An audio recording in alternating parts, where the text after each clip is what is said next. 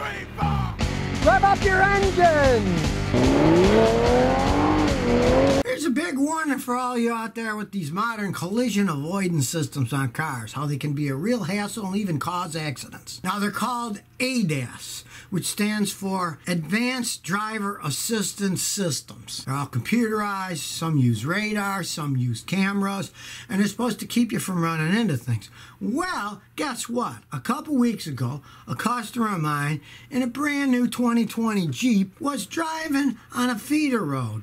He's driving on a feeder road and they're going relatively slow. When he went under an underpass and the sun was on the other side, it made a big shadow. The stupid ADAS system on this Jeep, I know it's Fiat Chrysler, so you don't expect much out of them anyways, but the stupid system thought the shadow was another guy and it slammed his brakes on and he tried to step on the gas, but it wouldn't move because it slammed the brakes on. The guy behind him ran into him. Luckily, they weren't going that fast. They talk about this is going to save people. I don't trust these systems, especially not a Fiat Chrysler pile of junk. Here, this guy got hit in the back because his car decided to stop itself thinking a shadow was a car in front of him. Anybody's going to trust these systems? I think they're insane. They'll never get the software or the stuff to work perfectly. It's too confusing for these. It's not the human mind. It's a computer based on whatever software. Software always has glitches in it. And to add insult to injury, how'd you like to be a guy behind him. You're driving down the road, too. The next thing you know, a guy slams the brakes on in front of you for no reason going under an underpass. If you're not paying direct attention, you might smash into the guy, too. So now you gotta, if you drive one of these new cars, you gotta think, geez, this thing gonna stop on its own when it sees shadows? And when you're driving your own car that isn't like that, watch out. Do not tailgate people in late model cars. Who knows if those things are just going to slam their brakes on whenever they feel like it? These collision avoidance, in this case, it caused a collision. They, they're just putting these things out. They're not proven. And they're selling them to people, especially a Fiat Chrysler product. They got bad enough just running themselves without breaking down. Now, if they stop by themselves, not such a great idea. And of course, to make it even worse, whenever you get in a wreck with a late model car, these things start to break down from the wreck. Then they have to be all fixed and recalibrated by a very good mechanic. Sometimes that's very hard to do, costs a fortune. I had a guy the other day, his windshield broke, and he had one of these systems on it, and it had one of those heads up display on the windshield too. It cost him over $2,000 to have the windshield replaced because of all the stuff that was on it. So, leery of what you wish for, it might not work right, and it might end up costing you a small fortune to fix when it breaks. Nissan's at it again. Everybody knows they're in trouble, pretty much on the verge of bankruptcy, and now they're talking about their Infiniti plan. And Nissan is saying that they are going to have the Nissan Plus brand. That's what they're going to call Infinitis now. Nissan Plus. Maybe they're going to shut down all the Infiniti dealerships. I don't know. But as they say, what's in a name? It's still the same vehicle. They're not changing anything, right? It's still the same vehicle. They have a problem selling them because they break down. They don't have what people want in them. And now they're going to change the name and call them Nissan Plus. You know, marketing, marketing. Hey, you know what I said of marketing? Show me something at last that holds up, that performs correctly. That's my idea of marketing. Uh, I always get people asking me, what do you think of the new 2021 blah blah? And I say, I don't know. They just made them. Ask me in four or five years and I'll tell you if they're good cars. Now, if I road test one, I can say, look, this ride's good, this does that. And based on the history of the previous models, here's problems they've had, here's problems they don't have. But I can't say on a new car until it's been out a few years to see what happens to it. And then to top it all off, this Nissan Plus strategy that they're having. The first vehicle that they're going to make under this Nissan Plus, he said it's not going to be until 2023 either. So this is the ultimate BSPR, which unfortunately our whole society seems to be full of these days. Baloney and PR all wrapped up in a real shiny package that's supposedly coming in the future years from now. Squiggly says, is a 1986 Nissan 300ZX a good car?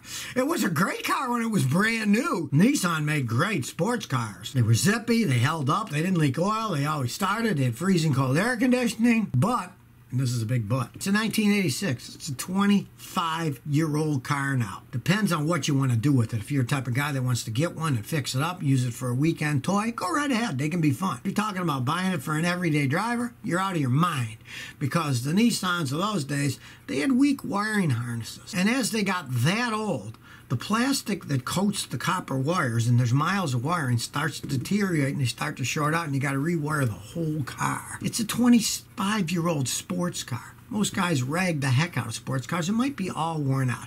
But if you want a toy, have a mechanic like me check it out before you buy it to at least say, okay, well, this stuff's still in decent shape. This is pretty good. Go from there don't just buy it sight unseen or you probably regret the decision. B. Surrey says, My 08 Camry's automatic transmission clunks when I put it in reverse. Sometimes it won't shift into overdrive, and when I slow down, it starts making a noise. This all happened after my mechanic did a transmission service at 190,000 miles. Can it be fixed? Personally, if I were you, I'd live with it and I'd hit my mechanic over the head with a sledgehammer. With that kind of mileage on it, you are tempting fate servicing the transmission, change the fluid and filter stuff. Transmissions work by fluid pressure. Dirty fluid has a lot of dirt. Dirt has friction. There's more friction fluid. They might be working on that friction. That might be keeping them going. He put in new fluid in the filter. That's enough to make it start and have problems. And it happened right after he did it. Make sure it's got the right amount of fluid in it. Maybe he didn't put the right amount of fluid or the correct fluid either. I don't know the guy. But I don't think much of him as a mechanic because I would have told my customer, it's working fine. Leave it alone. You got 190,000 miles. You change that fluid now, and I've seen that happen so many times. Guys will change them, then they start having problems right after it. Now, your transmission was worn anyway. There's no arguing that because it's got 190,000 miles. But if it's working okay with that kind of mileage, he tempted fate changing it, and now you're the one who's going to have to pay for it because he was stupid and changed something that he should have just left alone. Rachel Compton said, I got a Toyota Sienna. It's leaking radiator fluid from the passenger side. Help. Well, what you want to do is first, you want to have the system pressure tested. Pray it's just the water pump. The water pump is on the passenger side, and if it leaks, it's going to be dripping down there. You want to pray that it's not something like a blowing head gasket, which costs a small fortune. Whenever you get a leak in a car, the best thing to do is to pressure test it because when it's cold, it's easier to work on it. You pressure test the system with a pump that has a gauge on it. And if it's leaking, it's going to have to leak then because it's got a leak somewhere. Now, sometimes you pressure test them and they don't leak. Then what you do is start up the engine because if you start up the engine, starts spinning, then it starts leaking, then you know it's the water pump because sometimes the water pumps only leak when they start to spin when they get older. That's the most common thing in that, but you always want to pressure test it when you have a leak. It's the easiest, simplest thing to do. Then you can physically hear it hissing and see it squirting out of a hole and decide what's gone wrong. There's no sense guessing. Modern cars, everything's so tight you can hardly see anything anyways. When you hear it hissing and you keep pumping it and you see it dripping down, get a flashlight, and you'll be able to see where that leak is coming from. Now, even the British are copying themselves now. There's a company called Ineos, and they're making the Ineos Grenadier, and it looks pretty much like an old Land Rover Defender. It's going to be made with Magna Steyr, BMW supplying the six cylinder gasoline and diesel engines, and the gearboxes are from ZF. They're going to call it the Grenadier. You might never heard of Ineos. Well, I'd never heard of Ineos myself either. Turns out that Ineos is a British chemical corporation. The guy that owns it is an extremely wealthy man, and he decided that he wants to make one of these things.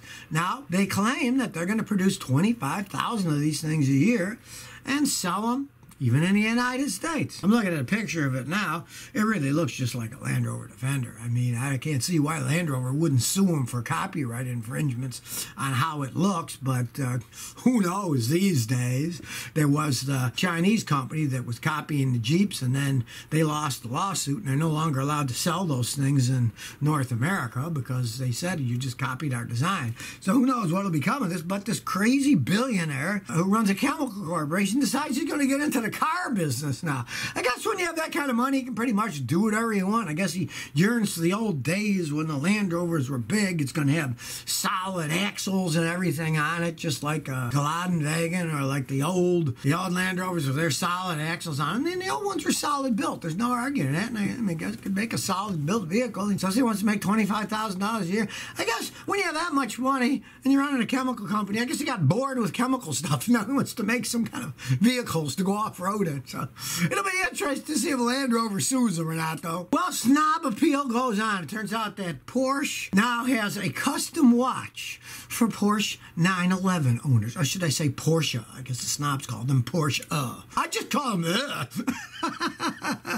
now, you can have a personalized wristwatch to match your car. They claim that each one can have 1.5 million different configurations. And of course, these watches are going to go between $6,000 and $12,600. They're not giving these things away, but I guess really, you could get them one of these Porsche watches. And perhaps if you can't afford the Porsche, you can't get a new Porsche for six to $12,000. So maybe you could just get the watch. Just like guys I used to know that had the motorcycle jacket, but they didn't have the motorcycle.